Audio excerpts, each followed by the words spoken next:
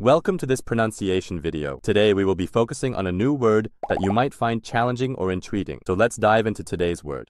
중요합니다. Which means, It is important in Korean. let's say it all together. 중요합니다. 중요합니다. 중요합니다. One more time. 중요합니다. 중요합니다. 중요합니다. Thank you for joining us on this adventure in pronunciation. Remember, language is a journey, not a destination. Keep exploring, experimenting, and expanding your linguistic horizons. We'll see you next time.